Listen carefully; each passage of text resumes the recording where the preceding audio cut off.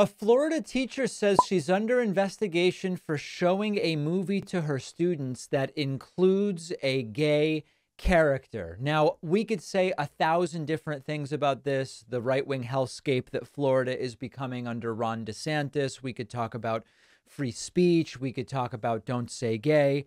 The area I want to focus here is it has been alleged that by showing the movie, the teacher is giving an opinion about LGBT people. This is ridiculous. I can't think of anyone that in 2023 would deny that LGBT people exist. And the fact that a movie was shown with an LGBT character only means that the movie reflects reality, period.